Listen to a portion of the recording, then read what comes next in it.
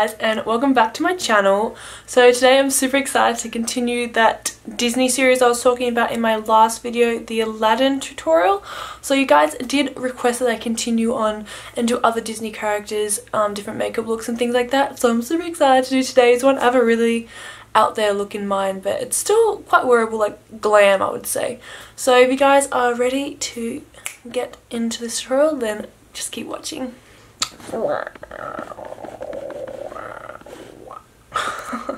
Okay, first things first, we're going to prime our eyes. I'm going in with my NYX Jumbo Eye Pencil in the shade Milk. It's just a white cream eyeshadow base, so it's going to help those colours really stand out.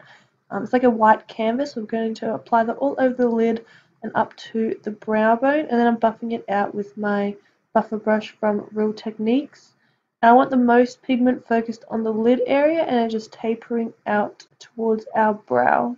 I'm also bringing it into the inner corners as well because I am going to apply some colour to the inner corner as well later on. So I want to apply a little bit of white there. Next going in with some tape. I love to use this trick to get that really nice crisp sharp line. So I'm applying it from the corner of my eye and angling it up towards the tail of my brow. Then I'm going to take this blush from Makeup Geek. It's in the shade Infatuation. It's a beautiful like rosy tone I'm using this as my transition color today, guys. So I'm going in with a 221 soft crease brush from Zoeva, and I'm just applying that shade through the outer corner and through the crease. Then taking this gorgeous like deep red shade from Sugarpill. it's in the shade Love Plus, and I'm applying that on with a petite crease brush from Zoeva, making sure to really buff that color in on the outer corner. I love the tape technique because I can be as messy as I want and it still ends up being beautiful and like clean. So I'm applying the most pigment on the outer corner and then just bringing whatever's left towards the inner corner. I want that red to be super like vibrant so I am building it up a little bit at a time. It's easier to apply colour that way rather than going in with a whole bunch of that red and trying to buff it out. It's easier just to go in with a little bit at a time and then just slowly build it up. Then going back in with some of that Infatuation shade from Makeup Geek to soften any harsh lines. Taking the Bitten shade from Makeup Geek, it's a gorgeous like deep winey kind of red. I'm applying that in the crease and outer corner with a pencil brush.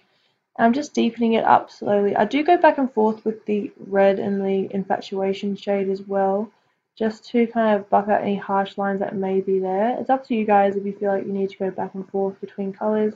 I just like to go back and forth. I find it just creates such a soft, beautiful, seamless blend. Going back in with previous shades and just kind of working your way back and forth, if that makes sense. Next I'm going to take Soda Pop and Chip from the Jaclyn Hill Morphe palette on that same pencil brush. I'm going to really deepen up the outer corner. As you can see, I really like to stick to the corner of that tape, like that harsh, like that edge, and just kind of use the tape as a guide on that outer corner blend, if that makes sense. So I really want to make the most pigment on that outer V area and then buff it towards the inner corner. And as I'm going along, I'm actually buffing that those two brown shades kind of up a little bit into the crease area, just with whatever's left on the brush. So it's a nice soft blended effect rather than, rather than there being any harsh lines.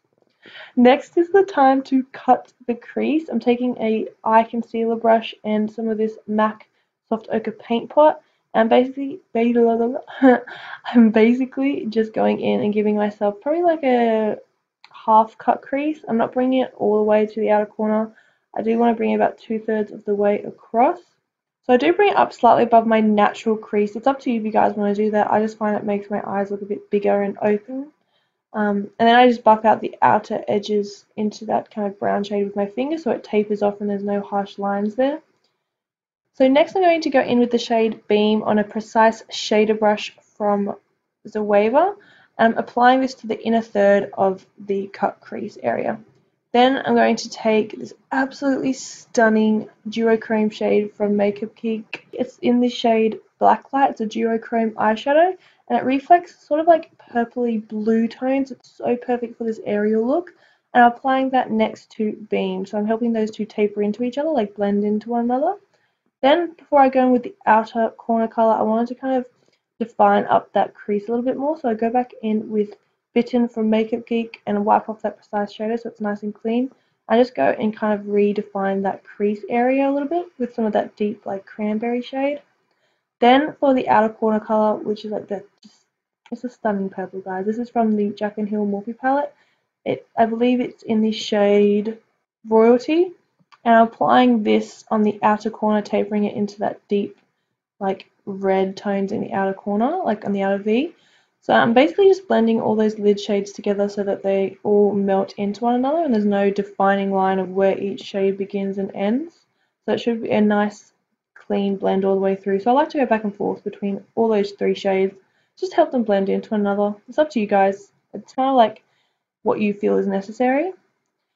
Then to get that gorgeous like winged liner effect that you saw at the beginning, I'm going in first of all with some that MAC paint pot again and just kind of creating a base. I did this in my Aladdin look as well. I just wanted to create a nice clean canvas for this um, the colors that we're applying on next. So I first of all take some of Bitten and I mixed it in with soda pop and chip as well. And I apply that on the inner third of the liner. Then I'm going to take some of Poolside and help that blend into those red tones. Then going in with some of Pegasus, another gorgeous like foiled eyeshadow from Makeup Geek, applying that to the very center of the liner. Then taking some of Soda Pop, Bitten and Chip again, I'm going to bring that on the outer like corner of that liner, that um, uh, MAC paint pot area, just to deepen it up and help it blend into the outer V area. Once I'm happy with my liner, I'm going to highlight my brow bone and I'm taking some of Beam and Ice Queen and applying that to my brow bone area. Next, you can peel off the tape and oh guys, this is the most satisfying part ever. I just find it so satisfying getting that nice crisp like line. Mm, mm, give it to me, you know. Next is lashes and mascara. So I'm taking my Maybelline Colossal Mascara and applying some of that on.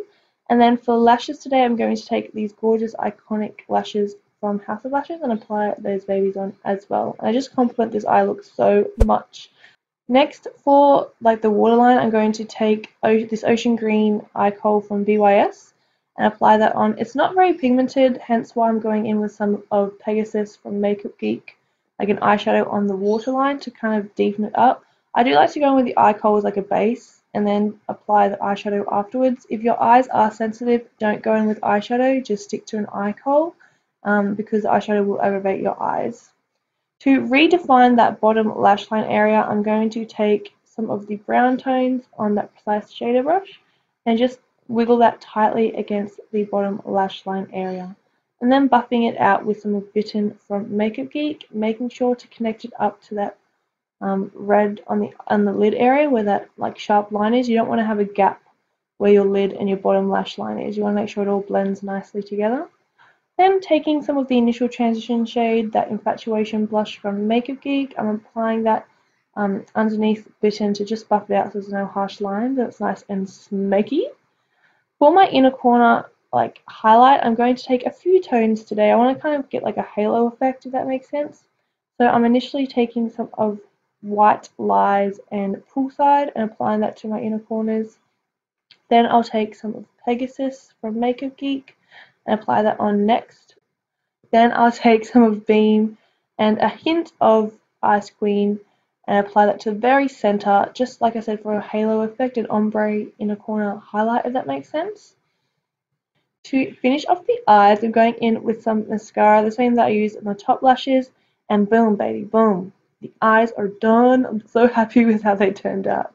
For the lip today, I chose something bold just because I think, you know, Ariel's got the iconic red luscious locks, and I'm like, why not do a red lip to that kind of symbolize that?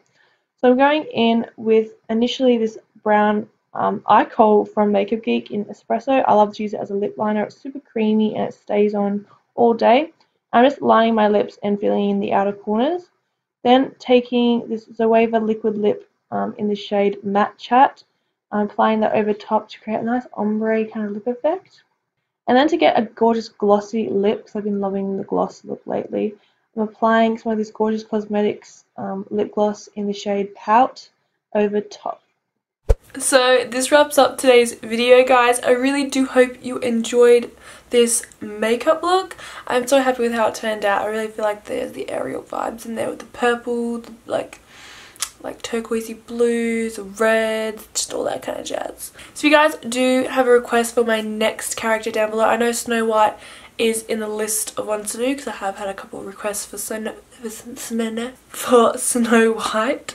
But yeah, I hope you guys did enjoy today's video. Make sure to give it a big thumbs up before you leave and subscribe down below to my channel so you guys can join my YouTube fam and keep up to date with all my latest videos and tutorials like this one. Otherwise guys, have an amazing day. I love you all so, so much and I'll see you very soon. Mwah. Bye.